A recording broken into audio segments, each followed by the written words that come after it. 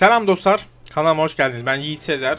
Ee, bu videoda bir çekiliş duyurusu yapacağım. Uzun zamandır, uzun zaman önce size söylemiştim çekiliş olacak diye. Ve o çekiliş bu video ile beraber başlıyor.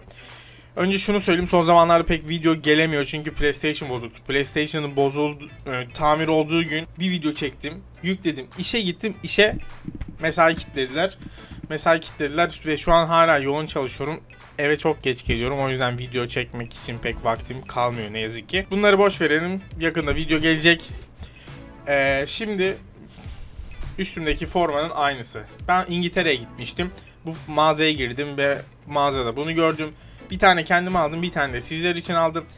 Bu da medium'dur. eSports'un kendi ürünü. Aha da şöyle göstereyim. Arkada 18 yazıyor. Bu forma e, Team of the Week kadrosuyla maç yapıp para kazanıyorsunuz ya. Oradaki Team of the Week kadrosunun giydiği iç saha forması.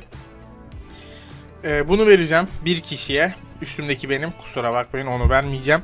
E, çekiliş nasıl olacak? Çekilişe katılma şartları nasıl olacak? Çok basit. YouTube kanalına abone ol ve bu videonun altına adını, soyadını yaz kardeşim. Ve şöyle bir şey daha var. Altta Twitter adresimi de bırakıyorum. Twitter'dan da takip edenlere artı bir çekiliş hakkı ekleneceğiz. Yani Twitter'dan da takip ediyorsanız isminiz iki kere yazılacak kuraya. Ve eğer Twitter'dan takip ediyorsanız adınızı, soyadınızı ve Twitter'dan beni takip ettiğiniz hesabı yazın ki ben oradan bakayım, kontrol edeyim ve iş böyle yürüsün. E, ne zaman açıklanacak? 9 Aralık'ta formayı kimin kazandığını açıklayacağım. Yani şöyle güzel bir forma. Yani böyle gece kulübünden tut da halı sahaya kadar her türlü ortamda giyebilirsin.